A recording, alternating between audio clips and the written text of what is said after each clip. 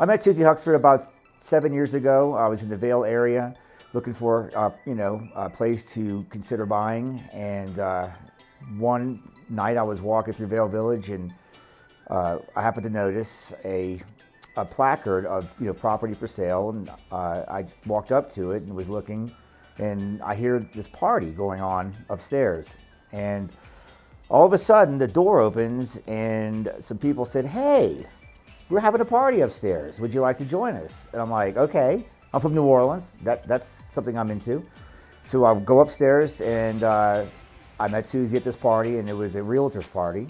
And so we got to talking and I told her I wasn't, you know, I wasn't able to buy it at that moment, but I'm, you know, I'm in the market and I want to take a look around. She was amazingly patient with that. I came back about two or three more times and we looked around when I was ready to pull the trigger, and we looked around all over the area, and she was really patient with me. I was very, very uh, difficult to deal with, would be one way to put it. And uh, so we, we found a place.